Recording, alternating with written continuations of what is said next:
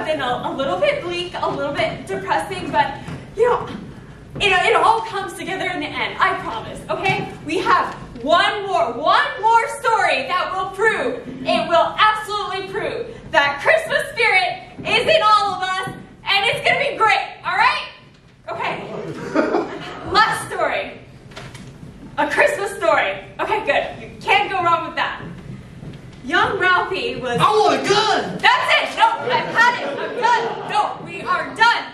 There is no such thing as Christmas spirit. It's all a capitalist, consumerist, hellscape scam meant to make us spend our hard-earned money on shit we don't need and spend time with people we don't even like. And for what?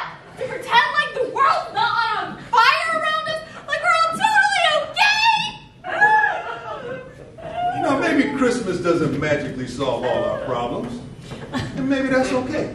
Maybe the magic of Christmas isn't in the stories. Maybe it's in all of us. No matter what you're doing, like divorcing your wife for getting a haircut, or having sex with a snowman, or pardoning murder turkeys. We still show up year after year, ready to do it all over again. and that's the spirit of Christmas. Christmas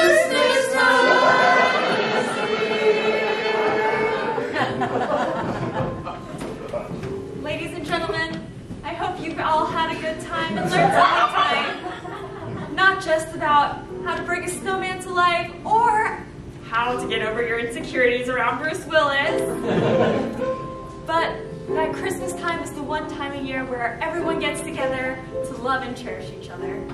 Even the worst of us. Because I'm a bitch.